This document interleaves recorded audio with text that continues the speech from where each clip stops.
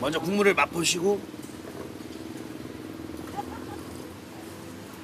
어우 시원해. 오 맛있다. 어머나. 이건 끝났다. 국물 예술인데 이거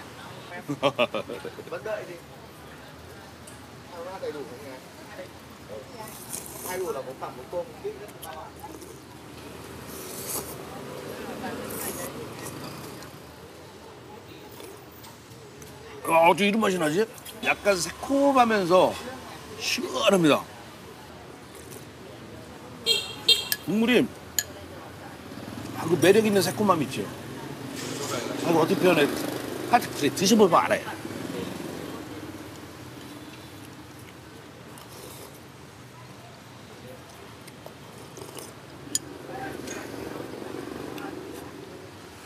우렁이 맛있어요. 식감이 쫄깃쫄깃해갖고.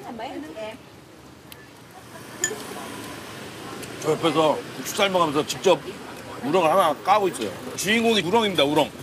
우렁이 베트남 말로 옥이라고 그러는데 작은 건 옥반, 큰 거는 옥밑. 큰 우렁하고 작은 우렁하고 식감이 약간 달라요. 여기 나온 채소들은 특이하게 생겼죠? 요거 바나나 꽃입니다. 바나나 꽃 채 쓰는 거. 요거는 차조기 깻잎처럼 생긴 거.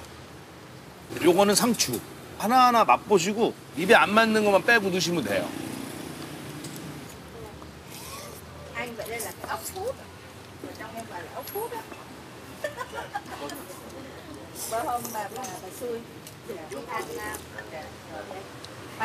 여기 이렇게 토마토가 들어가 있는데 우리 한국에서는 토마토를 보통 주스로 먹거나 생으로 많이 먹는데 여기는 요리에다 많이 넣습니다.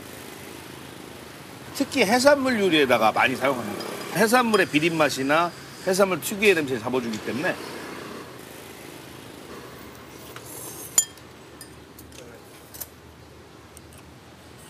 그 다음에 보시면 여기 이제 이 매운 장. 그 다음에 소금 요거는 맘똠. 예, 원하시는 대로 놓고 드시면 돼요 전 진짜 넣고 싶은 마음이 하나도 없어요. 왜냐면 충분히 맛있으니까. 그런데도 여러분들 때문에 혹시라도 궁금해하실까봐. 그동안 너무 평범한 소고기가 들어간 쌀국수에 좀 질렸다고 하는 분들 드시면 새로운 새로운 세상이 열립니다.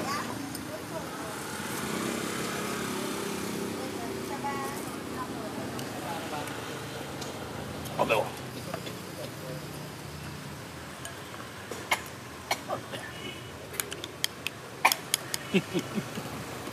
맵지요? 어, 살짝 맵습니다. 사실 우렁하고 쌀국수는 안 어울릴 거라고 생각했는데 잘 어울리는데. 쌀국수 하면 왠지 기름기가 지방에 확 있고 막 그런 너무 진한 고기 국물 막 이런 거랑 어울릴 것 같은데 담백하고 시원한 국물이랑 잘 어울리는다. 아 이거 두 그릇 먹어야 되는데.